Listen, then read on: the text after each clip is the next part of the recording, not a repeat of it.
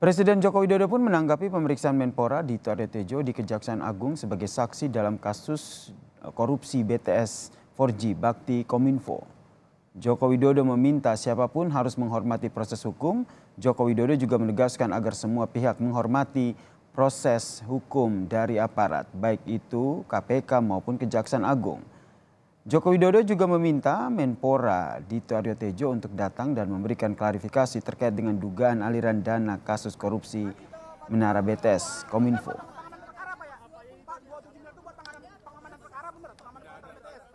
Hormati semua proses hukum.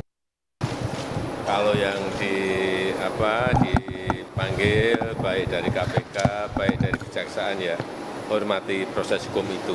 Datang dan berikan penjelasan, berikan klarifikasi.